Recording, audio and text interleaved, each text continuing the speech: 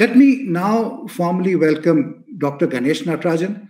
Uh, he really needs very little introduction, but but uh, uh, let me summarize very briefly. He has led two very successful corporate success stories, both Aptech and Zensar. He has been the ex-chairman of NASSCOM as well as with NASSCOM Foundation. And more recently, he is the founder of 5F World, which is a platform dedicated to uh, skills, uh, skills development, social enterprises, investment, mentoring, etc., etc. Also is the chairman of Skills Alpha, Pune City Connect, and I can go on and on and on. But possibly most importantly, he has been a very active supporter of the Bharat initiative, uh, uh, Bharat Summit and the Bharat initiative that you're driving. And Ganesh, thank you very, very much for helping kick this year's summit off. My pleasure. Thank you so much, Nipun. Ganesh, uh, I would like to start uh, by having you help us take a wide angle view on Bharat uh, while I laid out a couple of priorities uh, uh, that the Bharat uh, volunteers have been working on, I'd like you to, you know, help us with your perspective, given your ex- extensive experience, especially across both corporates and social ventures. What do you suggest would accelerate progress overall in Bharat? See, I think the main issue, Nipun, is that many of us talk about Bharat without having lived the experience. Mm-hmm. Extremely important. I mean, I'm, I'm fortunate because I grew up in a little village in Jharkhand. So I really have seen Bharat from the in, inside, if you will. And I think the big problem is that a lot of our design, a lot of our thinking is very much oriented towards, if not the top seven cities, yeah. top 20, 30 cities. Bharat, as we all know, is 650,000 or more villages. It's a whole bunch of maybe 400, 500 small towns, which is where the real India lives. And I think we need to understand that the solutions we think about for a completely, I mean, not, not completely, but a, a Wi Fi economy that we have in the cities is not quite going to work. The solutions we think of and dream of and write off in English are not going to work. And we really have to be inclusive. And I think one of the reasons I did 5F World was to say that, look, having spent a lot of time in global training and global software, let's try and understand what the country really needs and make that happen. So I think Bharat is about being there, is about understanding, being empathetic, and making it happen. Wonderful, Ganesh. And, and that resonates with uh, some conversations that we had the last year as well, where people spoke about you have to understand what it needs, what it is to be a teacher in Bharat, or what, what is it to be a farmer in Bharat, right? Uh, or to really live their life. Uh, uh and, and you're resonating that as well. Uh, how do you think we should be approaching that ganesh? I mean I, I, you know what you speak about is is wonderful. I think everyone would agree with that. What do you think we should do? How can entrepreneurs or potential entrepreneurs in the bangalore experience some of that? No i think what you need to do is realize there's a big market out there. I mean i'm not asking you to be patriotic. I'm not asking you to have a social consciousness. That's not required but what you re- really need to see is and i won't use cliches like bottom of the pyramid there is a pot of gold at the bottom of the pyramid, but most important, there is money to be made. And even the nine investments we have done in 5F World are all about people who are leveraging digital technology for Bharat. So to give you, I mean, to give you just a couple of examples, I mean, one is a company called Live History India Digital by Minnie Menon, who was formerly UTV and CNBC. And Minnie is doing some amazing work. She's created this entire platform which brings to life 1,000 unknown destinations in Bharat. And she's got millions of followers she's got lots of facebook downloads raising multiple rounds of money and she's being she is very successful. It's still two years into her life cycle. Similarly another company we invested in called skills alpha. Skills alpha is your classical edtech platform ai enabled personalization adaptive learning etc but they chose to focus on bharat. And today if you look at the 12000 people who use skills alpha people from slum communities in urban india they're just getting into rural in terms of mentoring and actually providing career counseling there. And the entire thing is happening through technology. So I'm just saying that to, to understand the opportunity, you need to understand what people are advertising which, what people are really looking for. And once you do that, I think, and you can be multi-tiered in terms of your approach to the market. I think the business models you create can create magic very, very quickly in this country. So, how do we pair them up, Ganesh? I mean, clearly, somebody in Bangalore is not going to have enough knowledge, as you speak, right, of, of what is needed in a small town. Uh, but the but the person sitting there or person living there does not have the ecosystem connects, does not have the technical bandwidth, does not have the other resources that are possibly needed to, to make this innovative business model come alive. So, what do you think? How do you think we should go forward? See, I think first of all, we should ride on this wonderful bandwagon called the Trillion Dollar Digital India. Because, I mean, I was involved from NASSCOM along with McKinsey Global Institute and the Ministry of IT to really conceptualize this. And as many of you would know, if you know the Trillion Dollar Digital India, it's only about maybe a 350 billion out of that will be the IT services and BPO and engineering services industry, growing from today's 200 billion to 350 billion. The real heft will come, 650 billion, will come from IT enabled services for Bharat. I mean, you've seen a fantastic example which the world is talking about, which is the whole UPI, Aadhaar, what's today called JAM, the whole Jandhan, Aadhaar, and uh, mobile revolution. And the mobile revolution is amazing, but are we really using it? I mean, you can fully expect that Jio will launch 5G in the country very, very soon. The Prime Minister in the Independence Day speech promised again about the NOFN, which is the National Optical Fiber Network. So whether it's BharatNet or NOFN, that's one physical digital infrastructure that will be laid out.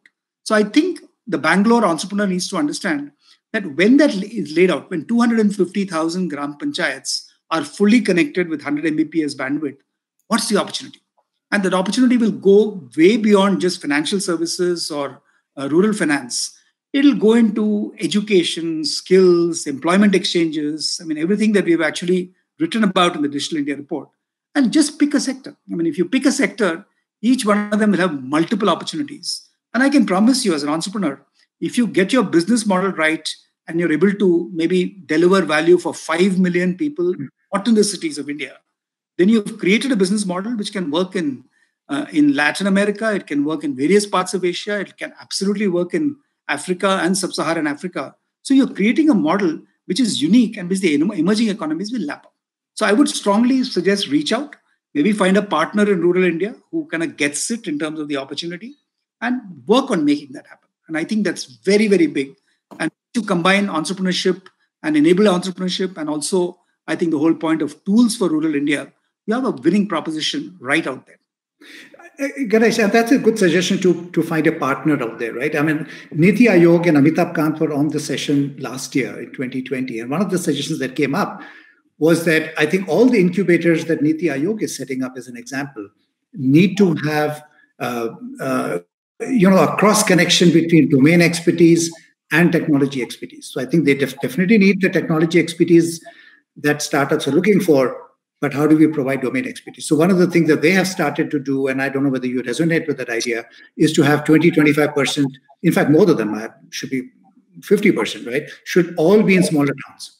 So they actually are able to then harness the local communities uh, as a way of going forward. So maybe if i was to take your your suggestion forward, it would be that I think we should encourage more incubators in Bharat. We should encourage more uh, physically located in Bharat, not an incubator based in Bangalore developing solutions for for Jharkhand as an example, right? But but really uh, uh, being physically there, yet being connected with with hubs like Bangalore and Mumbai and NCR and reinvent the model. I mean, I remember reinvent the model. Right. Yeah, we did this in the 90s in Aptech. Yeah. yeah. And at that time, like very much like any other institution, we said, "Oh my God, computer education." Yeah. Work in the top 40 cities, and before you knew it, we had kind of saturated the top 40 cities with about maybe 300 centers. But we went on in the next four years to have 1,200 centers in India and another 400 in 42 countries outside, because we rediscovered the small model. So by, when I left Aptech in 2001 we had plan A, plan B, plan C, plan D centers. Each of the centers had a solid core, which was you know, teaching people how to use computers successfully. But it was very, very customized. I mean, if you went to Madikeri in Karnataka, the way we taught it, the technology we used, the languages we used, everything was different. At the end of it, you still turned out a Madikeri professional could still join Infosys as much as somebody from Christ College um, in Bangalore could join.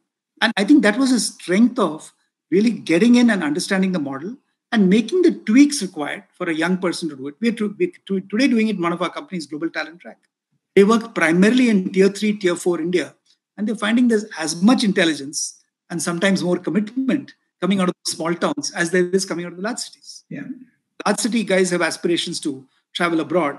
The small town guys want to work in the Punes and Bangalore's and Delhi's, and they're willing to really slog. So I think we have a big opportunity there. We have 400 million Indians waiting to see success happen in their own lives. And if we as entrepreneurs don't make it happen, who will make it happen? Wonderful. Wonderful. Uh, Ganesh, moving to a slightly different topic, and I know you've been a strong votary for redistribution of jobs, uh, pushing roles into smaller smaller towns. We did have a conversation earlier within NPC Bharat Summit on work from small towns as well, which is now that, and, and thanks to COVID, I think we all realized that we can work from anywhere. So, how do you look at that topic? And mass entrepreneurship, self employment, these are nice words. Uh, and and uh, I don't know what you feel, but they're probably not worked as much over the last few years. But there is a need. So no, you're, you're absolutely right, Nipun. And I, I, think there is one uh, set of problems and a set of opportunities. The opportunity you mentioned. I mean, with more and more people, if the whole IT industry is now willing to work from anywhere, I mean, I've heard of people recruiting in Patna and Lucknow and everywhere else, which is fantastic. That's the opportunity. The, the tragedy we all saw in the migrant worker crisis. I mean, a lot of people went back to the Guwahatis and the Ranchis of the world and found that job creation had not happened there. Hmm. It's a tragedy because we really haven't distributed jobs. I mean, my guru, Arun Maira, who was in the Planning Commission and, of course, has done this future of jobs work for both CII and actually spoke at the Executive Council of NASSCOM about it. He's talked about, and there is a, a real economic theory to show that if you're able to distribute jobs around the country, you will create, like America did fairly successfully, like China has done. I mean, in the last maybe 10 years with the with the Dalians and the Tianjins and the Wuxis and the Suzhous, I mean, which were much, much beyond the success stories of Beijing and Shanghai and Shenzhen. So if we can do that and we can enable this to happen, the distribution of jobs will create, I mean, the current inequity we have in wealth. I mean, we are seeing it even in the farmer crisis. 85% of our farmers just can't buy into some of the on some of the things that are on offer, which is the reason why you see this big crisis happening. But if you dig one level deep, you'll find that look, if you have some structures that work for the small, the medium, and the large, then you'll make it happen. And you're absolutely right because we all talk about millions of entrepreneurs, but we must also not forget that entrepreneurs without some core elements, and I was, I mean, I heard my good friend Rajan Anandan talking about Sequoia Surge, for instance, and he also said the same thing that look, I mean, if you're really looking at people to succeed, we want entrepreneurs who can take one, 1 million to 5 million in one year and not 1 million to 2 million. Mm. Easy to say. I mean, sitting on the other side of the table, you can say that. But I'm seeing companies, companies we are investing in, wanting to make that huge leap of faith. And that can happen only if we want to scale. But that's what I'm saying. I'm, I'm less impressed about multiple small entrepreneurs. I'm more interested in people who have the scope to really define their problem very well and the scale to make those kind of you know jumps jumps happen in revenues profits value and everything else we don't want anecdotal evidence we want large scale evidence that this can and will happen and and in in uh, in Bharat, uh, maybe the entrepreneur is not exactly the same type of entrepreneur that you find in Bangalore and Pune, right? Maybe it's not necessarily a tech entrepreneur. Maybe it's a question of setting up my own tailoring shop. Maybe uh, it is self-employment. Maybe it is you know uh, standing, learning to stand on my own feet. Uh, and the panel that's going to follow us right after this, Ganesh, is actually going to be debating how do we uh, enable things like that. But in your mind, what and, and if you may give us a couple of suggestions, what are the things that would drive this? Because clearly you don't like the sight of a million people standing to collect a bank form to fill up a you know to, to uh, uh, for a bank interview or for a bank job. Why can't they do something on their own? So no, but they need to have the see. That's what that's what I'm worried about now. It's very nice to say don't don't ask for a job create one and all that is very nice hype we also need to educate people to be better better better uh, people i mean uh, better entrepreneurs. Because if you really look at an entrepreneur i mean what does a great entrepreneur do? First of all he has a very powerful idea and he or she is very passionate about it. Then she goes out and says that look let's build a business model. And this is where it's extremely important. The reason we were so successful in aptech is we had that four part business model for each tier of city if you will and then we created a fifth for the overseas market. So we need to create business models that work given the customer segment that you're choosing, and you could choose multiple segments. The third, of course, we all talk about it, and that I think that's what Sequoia is doing so well, giving people a longer funding runway. I mean, you can't have one partner perpetually looking for money and the other partner trying to build the business. I mean, you've got to have a satisfaction that look, we've raised enough money for the next two years. and we can go experiment and build that model. And then I think you need the ecosystem. And when we keep going to government, I mean, Mr. Vittal, who was one of the architects of our industry, used to say that when the going gets tough, the tough go to government. And that's no, no longer adequate. I think the government can at best give you maybe preferential purchasing, which we've been ta- talking about in NASSCOM. Maybe the government can build the ecosystem. All that we should ask the government is build me the physical, digital, and social infrastructure. The roads, the internet highways, and of course, social infrastructure that you don't want to get murdered if you go into a small town, which is very obvious. So once you have that and you have the confidence that anywhere in Bharat can be my, my theater, my platform, then once you're an entrepreneur and you're kind of getting these sums right, if you will, you can succeed. But you need to go out there and make it happen. That's why I said, no, I love, I mean, right now we are nurturing a young woman called, um, I mean, I want to mention her name. She's from Satara in rural Maharashtra. But she has a model for working with young women all over the country, which scales from Pune to Parbhani to wherever else you want. So we need people like her to mm. say, look, I know that this country can be a recipient of my product and not only worry for solving for the urban rich. I think then we will. So, so if, if, you so if you take that example, the, the, the, woman that you mentioned, right, and if you peel the onion and just say what what was a missing ingredient that you guys helped her with, uh, that could be scale, that could be applied to fifty other people or a thousand other people. What is that? Is it skills? Is it motivation? Is it something? They, I mean, she had the right idea. I mean, she actually solved, you know, a psychological problem in adolescents and young women, and in fact, even young men across the country. And she started off, I mean, right now she has a big contract in Jharkhand. So she's doing it for the entire Jharkhand. She wants to do it in even urban, urban cities. But essentially, she had no missing ingredient in her passion. That's mm-hmm. why the idea was there, the passion was there. What she didn't have was a business model. So I think what we will help her is what are the business models that will work for Jharkhand? What is the business model that will work for the city of Mumbai? And how do you kind of mix and match the two without losing the core of what you want to do? And talking of women, there is a Ganesh. There's a huge feminization that's happening of rural India, with, with the men having migrated in large numbers to the cities, right? So, uh, any thoughts on that as we wrap up in a minute, maybe? Well, I don't think there is. I mean, first, first of all, being very, very, always been very gender neutral in everything I hire, everything I. Interestingly, out of the nine companies we have funded, uh, eight are run by women, but it's purely by accident. I promise you. Okay, and so I mean, and they are you know right from small towns to cities like Pune and Mumbai.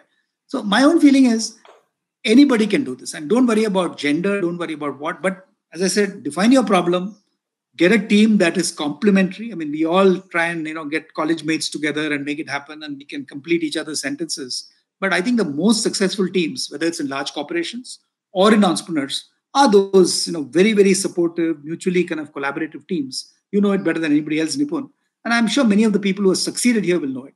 For the young entrepreneur, as I said, have the passion, build a team, don't try and do everything yourself, and then you can be successful both in rural and in urban India, both in India and in Bharat. And that's our objective.